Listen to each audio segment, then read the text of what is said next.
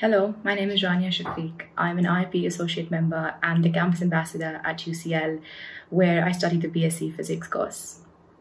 Despite the unprecedented challenges of the last year, the IOP has continued its mission to promote research and careers in physics, to polish the physicist's toolkit, as we love to say.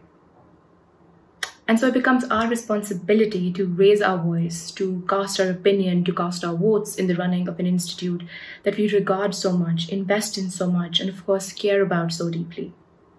I didn't get to vote last year, unfortunately, in the IOP's elections, but I'm really excited to rectify that mistake this year because it means that together we can continue to raise our voice, our opinion for the running of an institute that can continue to hold and uphold many more positive and nurturing experiences for all of us.